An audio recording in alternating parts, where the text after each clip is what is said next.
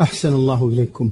أيضا يقول لي استفسار في آه، حديث الحديث القدسي كلكم ضال إلا من هديته فاستهدوني أهدكم. نعم المراد بالهداية هنا هداية التوفيق والثبوت على الحق. هذا فضل من الله عز وجل من به على من يشاء من عباده يوفقه ويثبته على الحق. وأما الهداية التي بمعنى الدلالة والإرشاد فهي حاصلة لكل مخلوق لكل إنسان من كافر ومسلم ومن منافق ومؤمن. كلهم هداهم الله بمعنى أنه بين لهم الحق ووضحه لهم ولكنه لم يوفقهم لقبوله الثبات عليه عقوبة لهم لما أعرضوا عن الله ولم يرغبوا في الحق. لما زاغوا أزاغ الله قلوبهم الله لا يهدي القوم الفاسقين. جزاء لهم حرمهم الله من هداية التوفيق والثبات على الحق.